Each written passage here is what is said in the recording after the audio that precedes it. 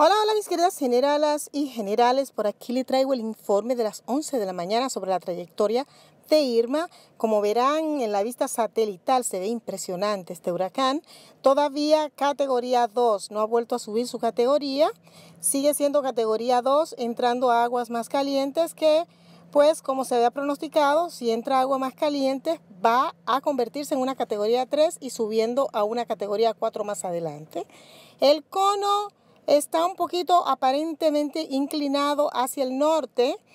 Eso saca un poquito del área de Puerto Rico, el, ya el ojo del huracán como tal.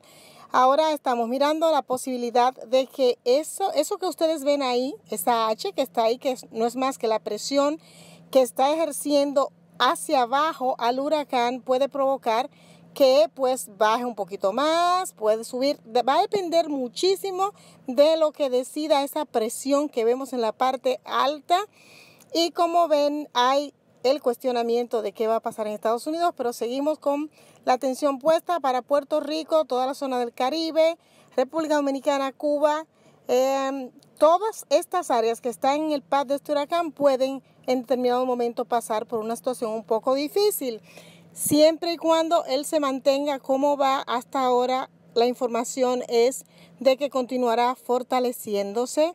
Esperemos que no. Madre Naturaleza tiene la última palabra. Muchísimas gracias por su atención. Recuerden siempre, peace and love, preparados siempre.